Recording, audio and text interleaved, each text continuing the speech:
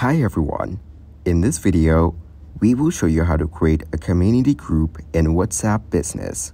First, open your WhatsApp Business application on your mobile device. Tap on the pen with the paper icon located at the top right corner of the screen. Next, tap on New Group. Select the contacts you want to add to the group by tapping on each contact. You can add multiple contacts to the group.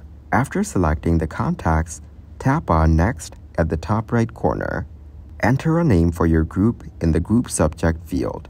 This will be the name that all group members see. Optionally, you can add a group icon by tapping on the camera icon and selecting a photo.